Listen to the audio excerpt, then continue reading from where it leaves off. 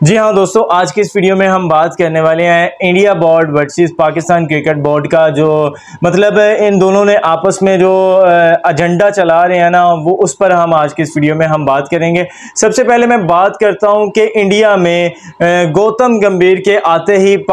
Team میں کیا بڑی چینجز کی جی گئی ہیں انڈیا میں۔ انڈیا کی ٹیم میں بہت بڑی چینجز کی گئی ہیں۔ وراٹ کوہلی اور روہت شرما جس کا ریٹائرمنٹ کا اعلان ہو چکا تھا اور ان کی ریٹائرمنٹ پکی ہے۔ صرف انہیں جو سری لنکا کے خلاف او ڈی آئی اور ٹی ٹوینٹی کھلانے کے لیے وراٹ کوہلی اور روہت شرما کو وکرانت جو گوتم گمبھیر ہیں، وہ واپس انہیں لے آئے اور ان کی جگہ جو اچھے پلیئر تھے، جو جنہوں نے آگے لانگ ٹرم کے لیے کھیلنا تھا، جس میں شان کیشن آ جاتے ہیں، ابھیشیک شرما آ جاتے ہیں اور گیکواڈ آ جاتے ہیں، یہ ایسے پلیئر ہیں جنہوں نے بائیس سینچری شتک کھیلے اور اچھی باری کھیلی اور انڈیا کے جتانے میں جو ابھی زمبابے کے خلاف میچز ہوئے، اس میں بھائی، ان پلیئروں نے اچھی شتک کھیلی، اچھی باری کھیلی، جس کی وجہ سے جو ہے نا ٹیم انڈیا نے وراٹ کوہلی اور روہت شرما کی کمی کو محسوس نہیں کیا، کیونکہ ان پلیئروں نے اچھے شتک کھیلے اور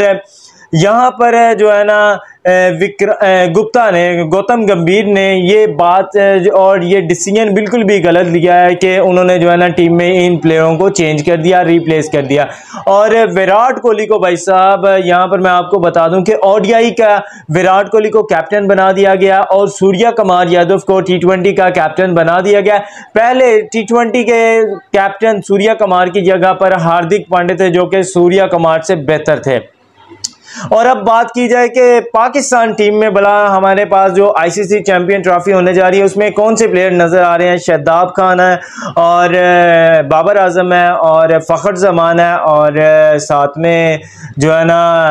نسیم شاہ یہ پلیئر چند پلیئر ہیں جو پاکستان میں ہیں۔ اگر انڈیا کی بات کی جائے تو انڈیا کو اگر الو ہو بھائی صاحب دو ٹیمیں لے کر آؤ تو وہ بھائی دو ٹیمیں بھی اچھی خاصی، جو صحیح کھیلنے والی ہے وہ دو ٹیمیں لے کر جو ہے نا کسی بھی ٹیم کے خلاف کھیل سکتے ہیں۔ باقی آپ ان دونوں بورڈ کے خلاف کیا رائے رکھتے ہیں کمنٹ باکس میں؟ لازمی بتائیے گا، اپنا خیال رکھیے گا۔ Take care